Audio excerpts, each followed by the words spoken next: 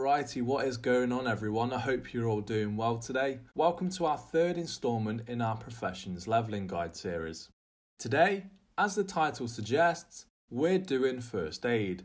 Before we jump into that though, just as always, guys, if you've not seen the previous video in the series where we made some delicious food, then you can find a card to that video in the upper right hand portion of the screen right now. Alternatively, you can find the link to that video along with all of my other playlists on gold farming down below in the description box.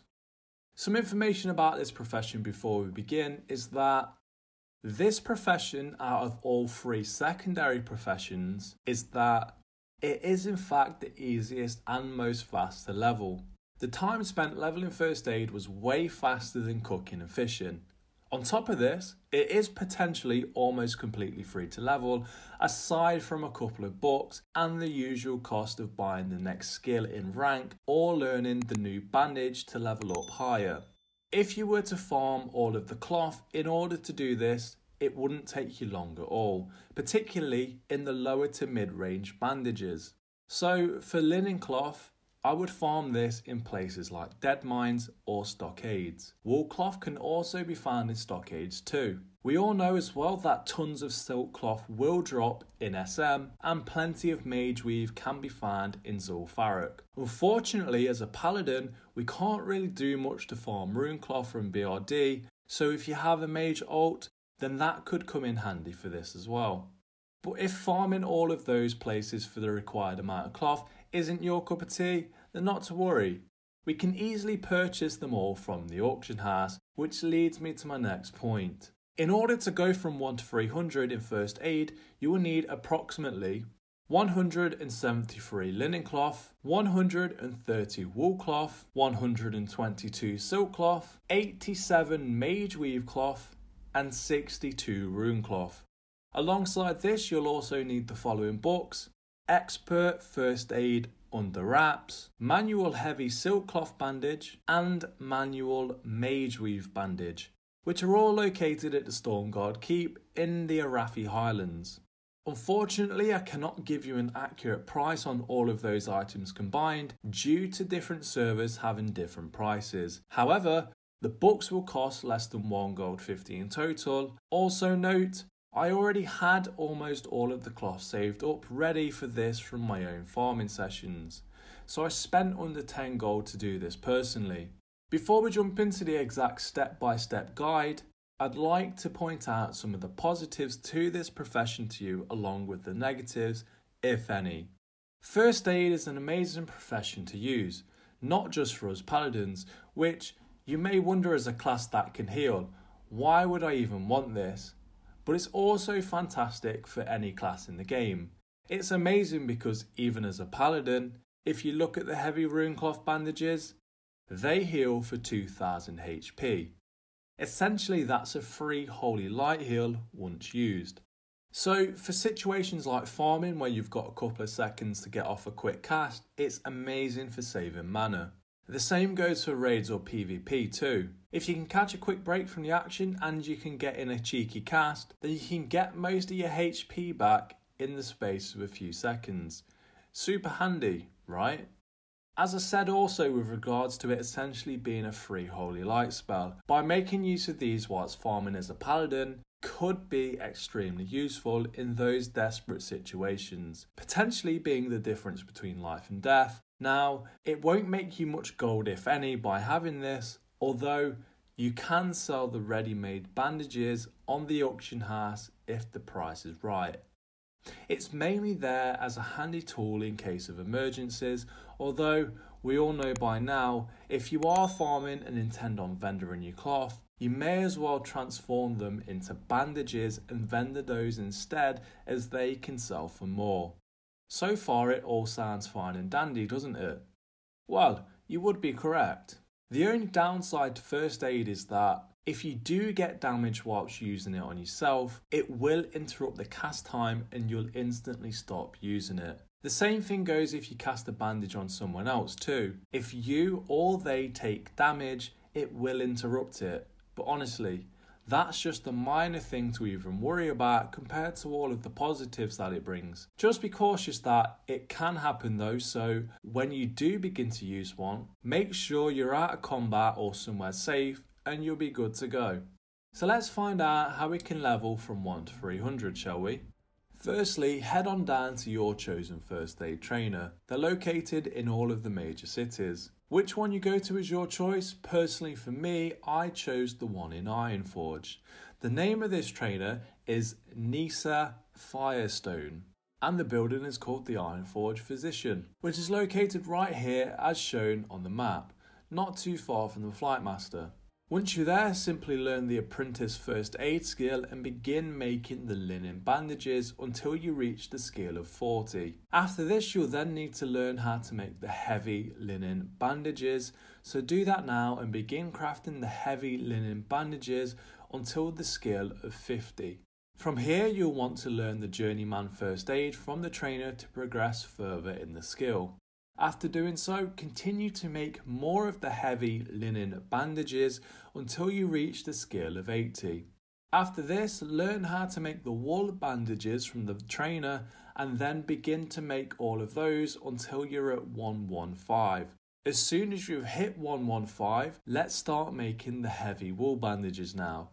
Do this all the way to 125. Before moving on now, if you didn't go and collect the free books mentioned earlier, then it's time to head on down to get them now. If you are a lower level, I would take care when heading through the fortress ruins as there are a lot of elite mobs all around the mid 30 level. The place we're going is Stromgarde Keep in Arathi Highlands as seen right here. To get to Deneb Walker, which is the name of the NPC who sells the book, you'll simply need to take your first right once inside and continue heading towards the friendly NPCs. Follow the path around like I do, and eventually you'll find him.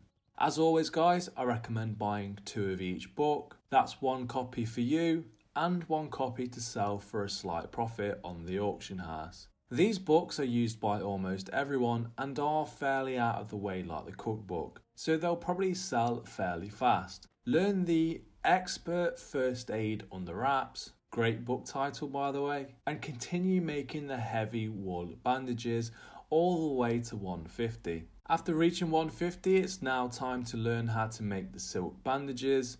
You can do this by learning it from your trainer, so do that now and begin making those until you reach 180. Now that you're at 180 in skill, you'll not be needing to learn anything from your trainer. Instead, the next bandages are all learned from the free books that you purchased. So use the manual heavy silk bandage now and begin making those until you're at 210. Once you've done that, now learn the mageweave bandage from the book manual mageweave bandage. Then begin making the mageweave bandages until you reach 225 in skill. Now you're here, I can happily say that you're nearly done. At this point, if your bags are getting quite full, I recommend you sell all of the bandages you've made to a vendor, unless of course you intend on using them, that is. Then bring all of the mageweave and runecloth with you as we're now heading down to Theramore Island for the final leg. After arriving at Theramore, you will need to head into the castle located right here, and then take your first right, then take a left, and you'll see right in front of you the one and only Dr. Gustav Van Housen. This Master First Aider will be your new mentor in becoming a master like him himself. Talk to him and begin the quest that he gives you. This is pretty fun if you've never done it before and didn't expect to do it. I won't give any spoilers away, hence why I'm not showing any footage on this. So just use the bandage that he gives you on the soldiers in the same room that you're in now and then complete the quest.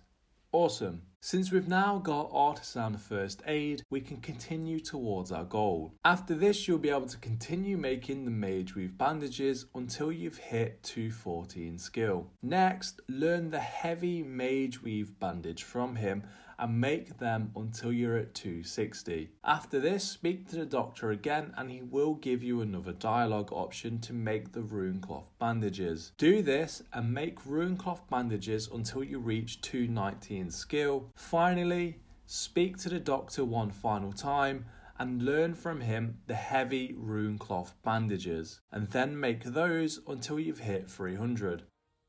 Congratulations, you're now a masterful first aider with a skill of 300 in WoW Classic. Well done.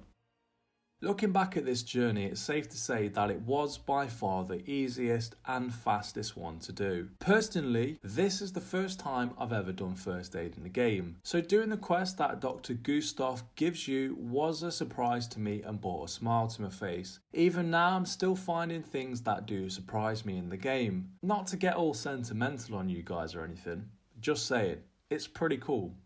Anyways, you finally hit 300 in first aid and can now make the heavy runecloth bandages. You won't really make much gold from it, but it will be a great tool to use in your arsenal if you ever find yourself in a desperate situation. I can recall quite a few times that I've been mass AoE pulling and I've been out of mana. Times like those, I could have really made good use of having first aid.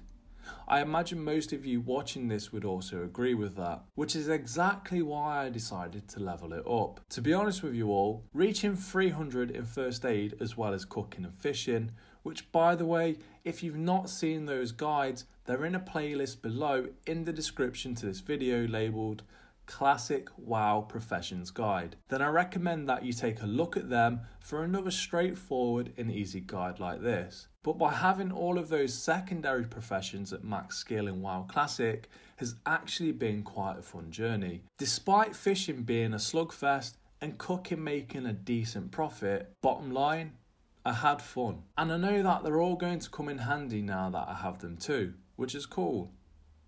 Anyway, guys, by now you should be well armed with the information that you need to get from 1 to 300 in the first aid profession. On top of this, hopefully you've enjoyed watching today's video. As you guys know by now, we're shooting for 2,000 subscribers here on YouTube, so any and all support is massively welcome. I know every YouTuber will say this, but if you've enjoyed today's video, then be sure to tickle that thumbs up button I'm sure it would be happy if you did. Also, don't be afraid to drop a comment in the comment section below if you have any questions or would like to add anything. I'd like to hear from you.